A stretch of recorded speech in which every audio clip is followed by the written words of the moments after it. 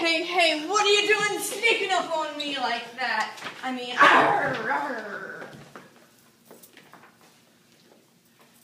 Um, excuse us. We, we were just trying to get by. Don't you see I'm working on an important job here? Put him up, put him up. Which one of you is first? Come on and put him up, you shivering junkyard. Now you put your hands up, you lopsided bag of hay. Now that's getting personal, Lion. I'll fight you with one hand tied behind my back. Shame on you. You don't have to yell at me. You should be ashamed picking on people who are just trying to follow the yellow brick road. What's wrong with you? Wait just a minute. You're shaking.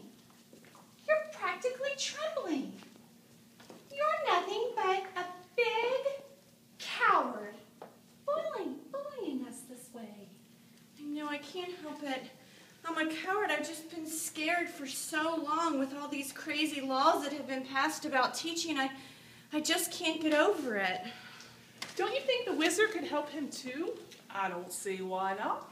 Wizards? I, I, I don't I don't like wizards. Oh, good grief. She's a good wizard, and she's going to help me find my way home. And help her get a heart and help me get a brain. Do you think she could help give me courage?